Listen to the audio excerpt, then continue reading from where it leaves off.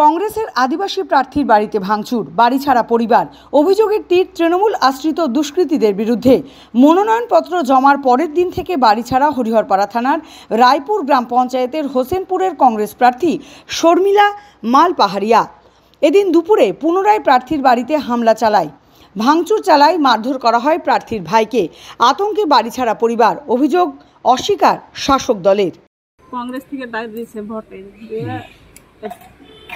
তৃণমূলের লোকরা এসে গাড়ি লোড করে এসে সব মারতে ধরতে লেগেছে বাড়িতে। আমরা কেউ চারজন ছজন ছিলাম বাড়িতে।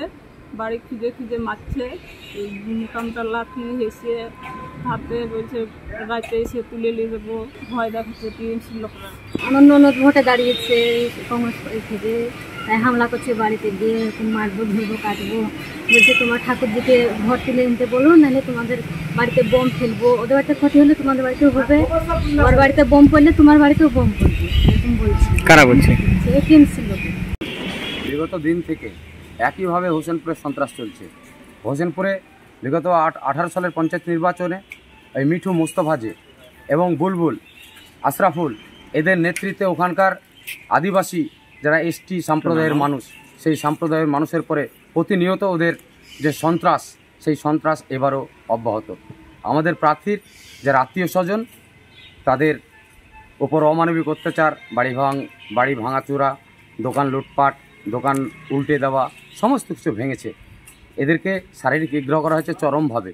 এভাবে ওরা কন্টিনিউ চালিয়ে যাচ্ছে। এ আমরা বারবার পুলিশ প্রশাসনকে জানিয়েছি, পুলিশ প্রশাসনও জানেন পুলিশ প্রশাসনও জানেন যে আমরা বারবার পুলিশকে জানিয়েছি, তাই পুলিশকে এরা সঙ্গে, আমাদের সঙ্গে এসে পুলিশকে একটা আমরা অভিযোগ জানাচ্ছি, আজকে কেস করতে এসছে। কেন বারবার এদেরই নেতৃত্বে সন্ত্রাস চলছে, সেই সন্ত্রাস কেন? কেন একজন মানুষ ভোটে দাঁড়ানোর অধিকার আছে, গণতন্ত্রের মৌলিক অধিকার। সেই ভোট তৃণমূলে যখন দেখছে যে পায়ের তলার মাটি নাই, তখন তৃণমূল সন্ত্রাস করে, মানুষকে ভিতর সন্ত্রাস করে ভোট নেওয়ার একটা প্রচেষ্টা চালাচ্ছে।